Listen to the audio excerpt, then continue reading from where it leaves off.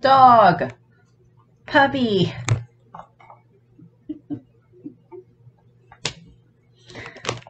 I don't know. I thought it'd be cute to put him on camera again. Because he ain't getting on the bed right now for whatever reason. Well, I kind of know the reason. Our air conditioner is being a little bit on the fritz right now, and we just have to get it looked at. But, I mean, it's not stifling or anything like that, and this is, you know, Nebraska, and it is hot, but it's not that bad right now. So I don't know why he's not laying on the bed. I'm like, my coworker's like, oh, to be the dog and have the ability to just lay down on any hard, flat surface and fall asleep. I'm like, well, you know, yep, to have that ability. So, uh, this is the third installment in one of the uh, series I did a while ago, or a two-part thing I did a little while ago. This is um, the uh, like the class 1A or the students in general, um, kind of just being teens, being kids. These moments where you still see us, it's like, yeah, they're you know superheroes and they're training and how to be tra- you know superheroes and save people and everything, but they're also just still teenagers at the same time. So um, I did one that was about just like other moments of them relaxing. I have one that focused more on the you know the uh, the uh, and you know the cultural festival and everything. And then this one is just kind of focusing more on like um, some of the other things that we've seen since the cultural festival, and then leading up through kind of this um, this last arc that we've had, um, which kind of dwindles a little bit more down the line, but there is still some moments in there where they are just having fun and being teenagers and just being you know like a, a class of friends and everything. So. Um, let's start with that. So uh, the first one that I have on the list is just kind of a basic thing of like um, the girls hanging out. We see um, the girls from Class 1A hang out quite a bit. Um, you know, we see that in like a bunch of the end credits. We see them hanging out or training or whatever. And then, of course, we just see other moments where we see them like sitting around and talking, um, you know, in the evenings or like, you know, different moments like that. Uh, we also see them like teasing each other about like, oh, they tease Uraraka about having a crush on Deku and everything. you know, it, you know, those funny things there that we see. Um, you know, there's not too much there every other. It's just nice to see them interact with each other and just kind of be kids, be, you know, the way that normal teenagers would be, you know, talking and hanging out with your friends, particularly if you all live in like a dormitory system, because we see the same thing at Hogwarts and Harry Potter. So, and other areas where they have like a dormitory system. Um, uh, other one that I did want to put here is uh, we see them hanging out with Eri quite a bit, not just um, uh, the girls hanging out with Eri, which we do see a little bit, but uh, we also see like Izuku and Mirio hanging out with Eri quite a bit and just having, you know, helping her have fun and everything. And some of it, yeah, is involved with training her powers, but it's also just, you know, being around her also kind of reminds them why they're being heroes, why they want to get stronger, why they want to do all of this. Um, so that's just always nice there. Um, and of course, we see them, you know, with uh, around Eri too, with you know um, the rest of the class around Eri because they just like to fawn over her and everything. Particularly uh, Uraraka and Tsu uh, like to fawn over Eri and everything, which is just kind of fun.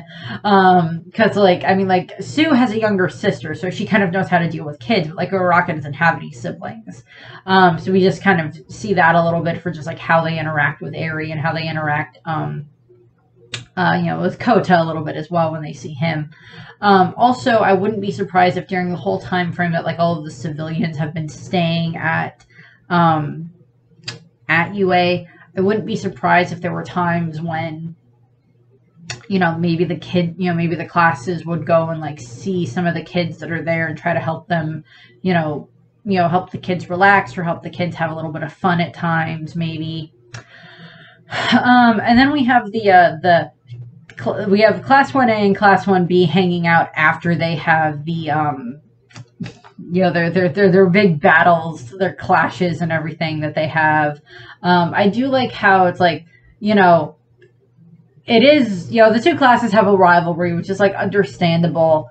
Um I I I wish that um you know I, you know, it's just like I do kind of wish Monoma kind of wasn't there, but there's a reason why Monoma's there. Particularly now, he's actually getting a, a moment to shine in the in the uh, the in this uh, last arc at the moment. Um, uh, with you know using his quirk and everything to be able to help against you know Shigaraki and everything, but um, I just there's a lot that happens with that. I just like I don't always know what to say about Monoma, but we're gonna move away from Monoma and just kind of you know I like seeing the two classes kind of hang out. I wish that we got a little bit more of that. I mean, like we kind of have them working together a little bit with what's going on in the final battle right now, um, but you know, having the two classes actually work together, it's very good. It's a good thing to have happen. And like, you know, after the whole, you know, after the different battles and everything, um, you know, we have them all like hanging out in the dorms and just relaxing and everything. Um, and I wish that we could see more of that uh, throughout the course of the series. That would be nice. Um, just so they don't feel quite so isolated. Um, also, it might make Monoma be less a holy. Um, but yeah, because I'm like Kendo and Momo get along fine, and then there's like other ones that seem to get along great because we know that um we know that um, Kirishima and uh, Tetsu Tetsu Tetsu Tetsu, um, I love that name, uh, that they get along fine and that they both end up uh, interning with Fat Gum uh, during their like second or third round of internships or whatever. We know that they're both there.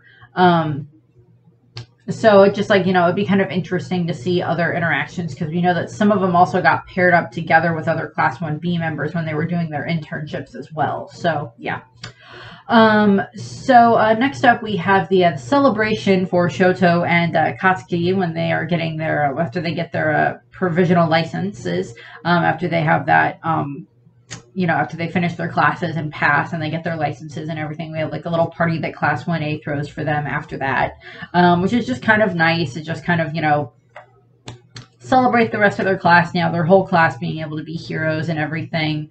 Um, so that's just kind of nice. I do like that. Um, and then of course, like I do like the fact that they like they they rip on Bakugo um, when he's like getting made fun of by uh, when they make fun of him for like during the interview when he cannot be interviewed correctly because he just keeps yelling.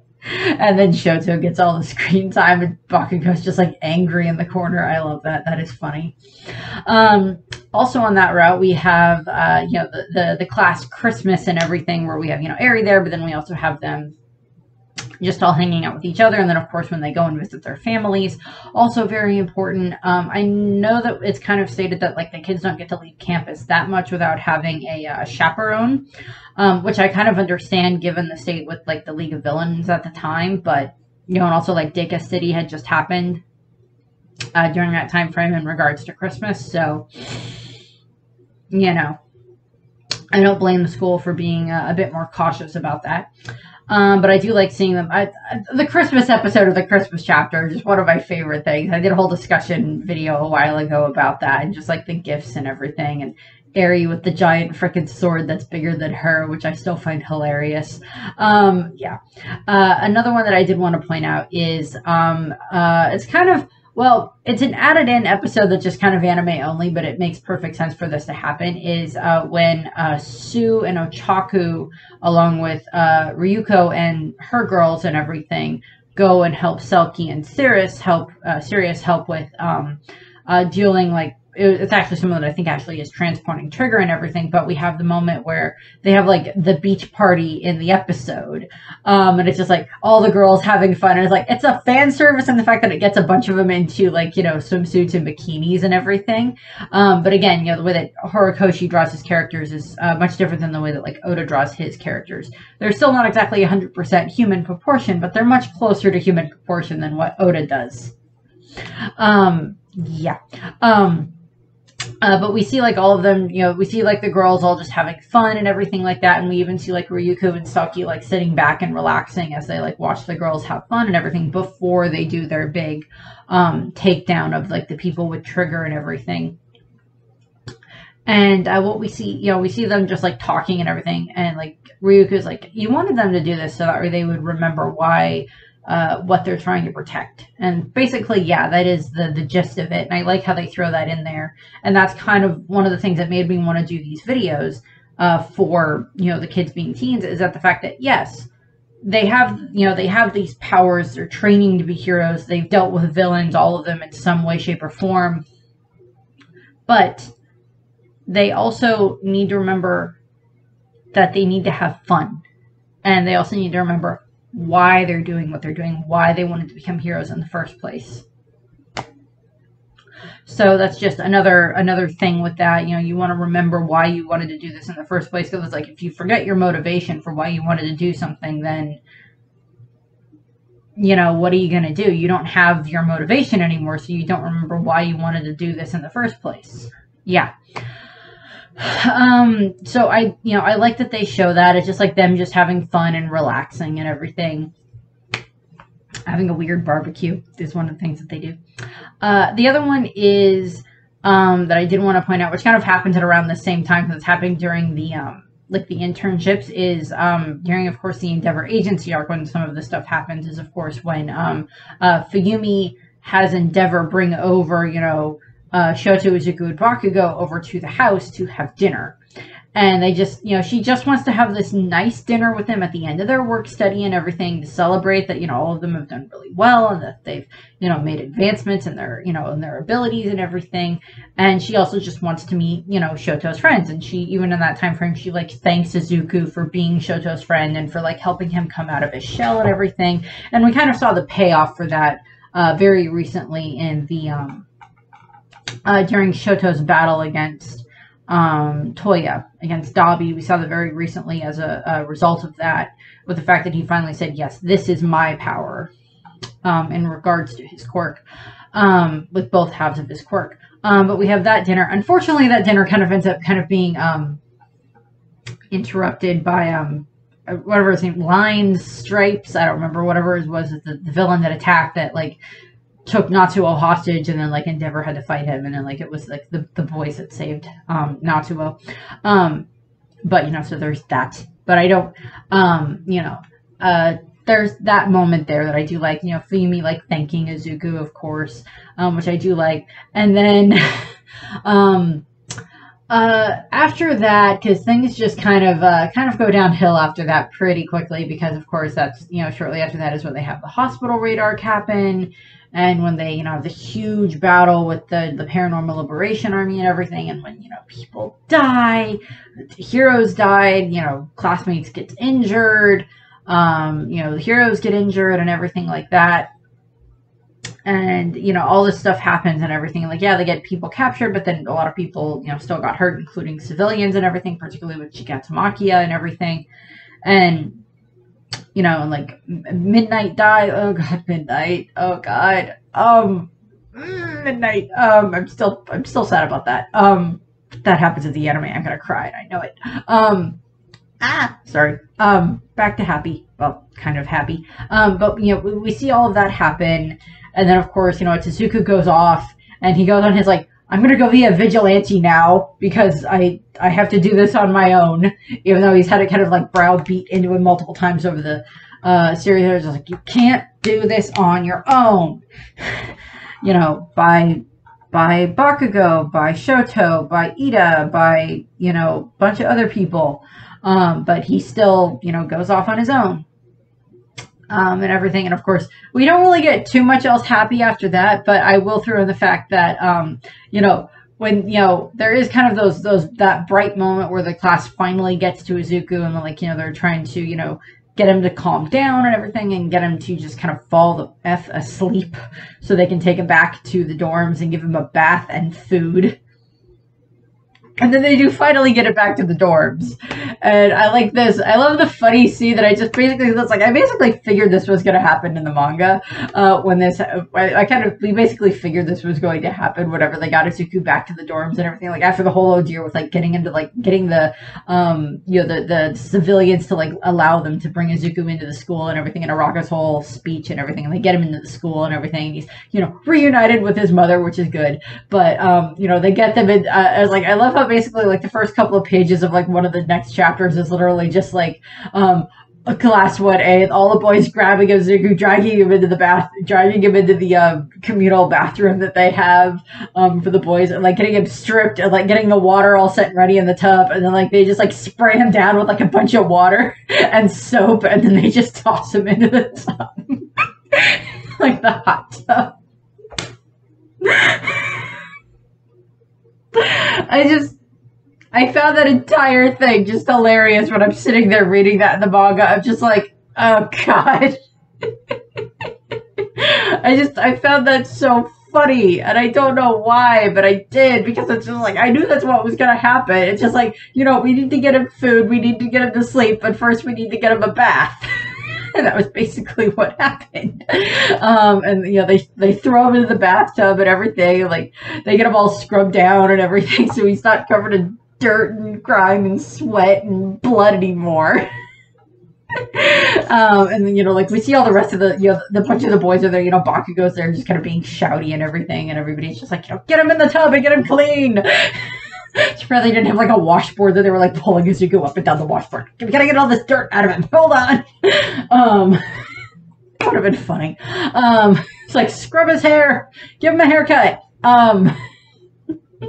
Uh, I don't know why, but I just I just found that hilarious, just so funny. Um, uh, but of course, you know, after that is, you know, after the, you know, after they get them all clean and give them a bath and everything, and they take them out into the, uh, the, the, the, you know, the communal area of the dorms. Um, you know, the rest of the class is kind of there and they're just all kind of talking. And at some point, All Might shows up in that time frame. And of course, Izuku ends up falling asleep uh, sometime after All Might shows up. But um, we have the moment where we see uh, Jiro grab, um, you know, Bakugo and Denki and Momo and uh, uh, Fumikage uh, grabbed them to go and practice as the band again that they had for the cultural festival, and the dog left. Um, and we we haven't gotten a payoff to that yet, but I'm really hoping that there does end up being a payoff to that because basically what Jiro basically kind of said and like kind of the conversation that you know kind of led up to that was kind of along the lines of well you know everybody here in at UA, all the different civilians that are here and all the staff that's here right now and all the students and the family and everything that are here right now, all of them are very high strung, very worried with everything that's going on right now.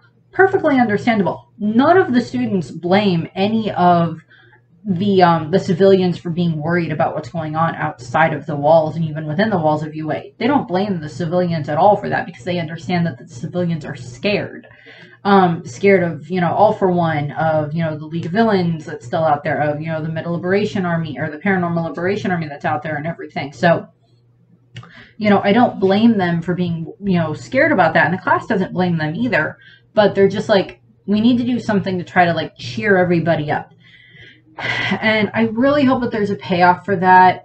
Um, I know that kind of the context of the manga kind of explained, you know, because after that is when we dealt with like Star and Stripe, and then you know getting you know Tomura kind of got his quirks kind of ripped apart but then there's you know some other things that happened um, and they got more information thanks to uh, Stain of all people um, but it, it will be very interesting to see if there ends up being like a thing where they get like a flashback to show um, you know like the the band performing for the people that are at UA at the time um, and doing something like that, doing something with like the, the rest of the class and, you know, some of the other, you know, some of class 1B as well. And some, you know, some of the others to just like help the, you know, maybe have Jiro's parents come up, have her father play with her as well would be a good thing to do with that, I would say as well.